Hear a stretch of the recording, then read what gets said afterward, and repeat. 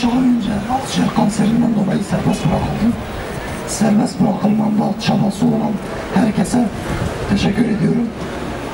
Yani aylardan beri, yıllardan beri kamuoyuna da yansıyan hasta tutuklar sorunu her şeyden önce ahlaki, vicdani ve insani bir sorundur. Bunun siyasetten de öte ele alınması gerekir. Bu noktada benim hükümete de çağrım vardır.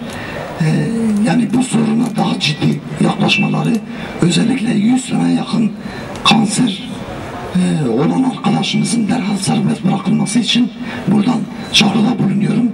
Tüm kamuoyunu da bu konuda duyarlı olmaya çağırıyorum ve herkesi demokrasi ve barış mücadelesine katkı sunmaya, çözüm sürecinin daha sağlıklı ilerlemesi için olmaya çağırıyor. Teşekkür ediyorum. Çiçek'in durumunu aktarmaya çalışacağız.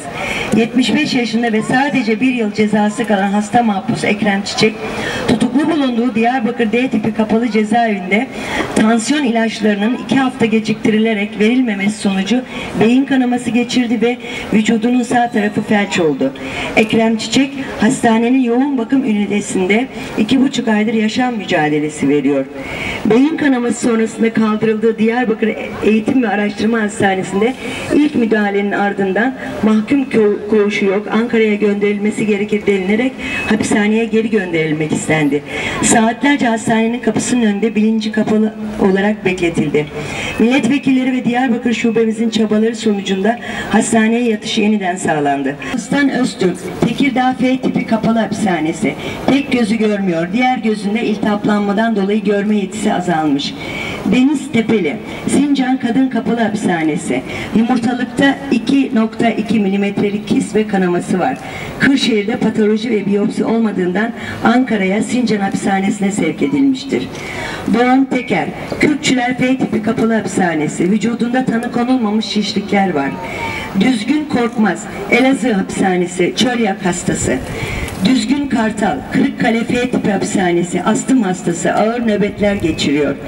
Dilaver Keklik, Kırıklar 2 nolu F tipi hapishanesi, beyninde kist var, mide ülseri, kan şekeri, Ebedin abi Kırıkkale F tipi kapalı hapishanesi, diyabetüs, melli, mellitüs ve kroner arter hastalığı. Emine Aşkara, Kaçakran Kadın Kapalı Hapishanesi, rahmi alınmış, kanser olma riski yüksek. Erdal Polat, Bandırma E tipi hapishanesi, sağ el hasarlı ve felçli. Bir kez daha söylüyoruz.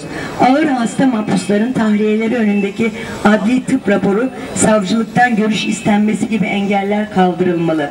Zaten durumları ağır olan mahpuslar adli tıp raporu alabili- alabilmek uğruna farklı illerden ring adı verilen hapishane araçlarıyla İstanbul'a gelmek zorunda bırakılmamalı ve bulunduğu ildeki devlet hastanelerinden alacağı heyet raporları yeterli görülmeli. Bu konuda acilen bir düzenleme yapılmalıdır. Erdal Polat, Emine Aşkara, Ebedin Abi, Dilaver Keklik, Düzgün Kartal, Düzgün Korkmaz, Doğan Teker, Deniz Tepeli, Dağıstan Öztürk, Cafer Aykaç serbest bırakılsın. Ekrem Çiçek serbest bırakılsın. Susma, suça ortak olma. İnsan Hakları Derneği İstanbul Cezaevi Komisyonu. Suça